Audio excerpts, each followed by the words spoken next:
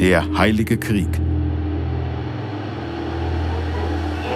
Alles Volk war voll Begeisterung und von gerechtem Zorn durchdrungen schmähliche Ermordung des Thronfolgerpaares. Mit nie gesehener Begeisterung rücken unsere Soldaten ins Feld. Szenen aus dem Jahr 1809 wiederholen sich. Unsere Soldaten kämpfen für das Heiligste, was es geben Dass bei dieser Lage der Dinge wir Tiroler voll und ganz unseren Mann stellen, ist selbstverständlich. Tod eines Märtyrers sterben. Sterben tun wir gern, wenn wir nur sie Nieder mit Serbien!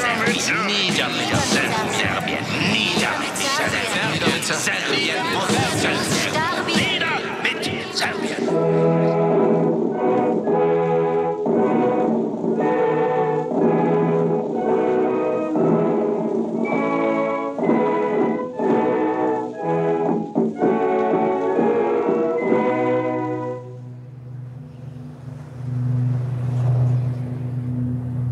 Neun Millionen tote Soldaten, geschätzte sieben Millionen Zivilisten forderte der Erste Weltkrieg.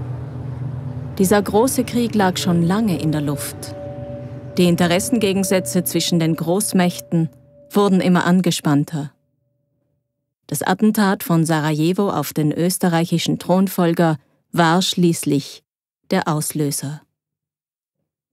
Universitätsprofessorin Ulrike Kindl von der K. Foskar in Venedig Germanistin und Begriffswissenschaftlerin in Rente sagt, der Erste Weltkrieg war das Ende des 19. Jahrhunderts, das Ende der klassischen Moderne und das Ende der Reichsidee. Mit dem Ersten Weltkrieg brachen große Reiche zusammen. Nicht weniger als vier Weltreiche. Die K&K-Monarchie, damit verlor Europa auch seine Mitte. Das Zweite Reich, das zusammenbrach, war das Deutsche Reich. Eine Tragödie ganz eigener Art, denn das war dann der wahre Grund, warum es zum Zweiten Weltkrieg kam. Das Dritte Reich, nicht mehr als autokratisches, riesiges Reich, war das Zarenreich, Russland.